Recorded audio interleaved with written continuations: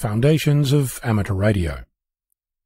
The second clause of the original Amateurs Code reads, The amateur is loyal. He owes his amateur radio to the American Radio Relay League, and he offers it his unswerving loyalty. The 2022 ARRL Handbook presents it with the following words. The radio amateur is loyal, offers loyalty, encouragement and support to other amateurs, local clubs and the American Radio Relay League, through which amateur radio in the United States is represented nationally and internationally. The ARRL website goes the extra mile to make this hard work and states that the radio amateur is loyal. He, she offers loyalty, encouragement and support to other amateurs local clubs, the IARU Radio Society in his her country through which amateur radio in his her country is represented nationally and internationally. Pronouns aside, this has got to be one of the more tortured efforts you might subject an entire group of humans to.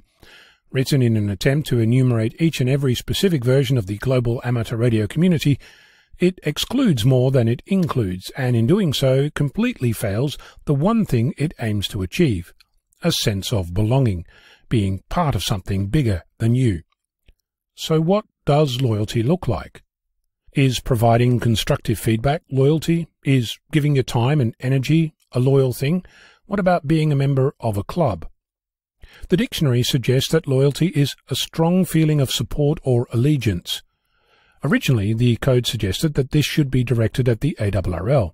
Even the handbook continues to suggest that today. But is that relevant for me here in Australia? Should I be a loyal member of the ARRL or should I be a loyal member of the WIA? What if there's a second body in your country?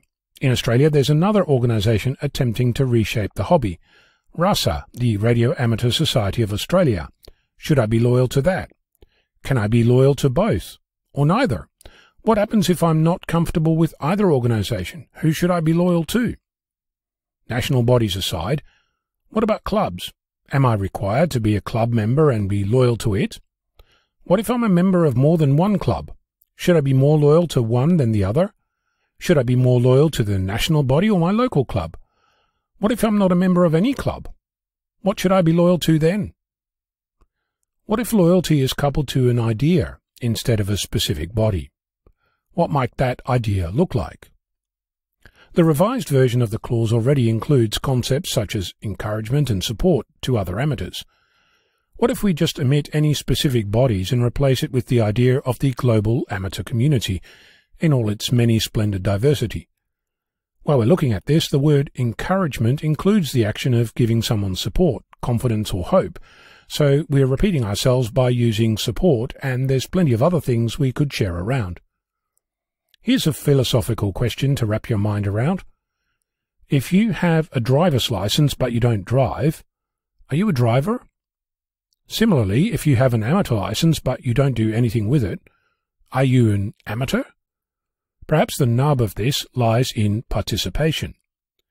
Taking those thoughts into account, we could rephrase the second clause of the Amateurs Code to The radio amateur is loyal offering encouragement and participation to the global amateur community.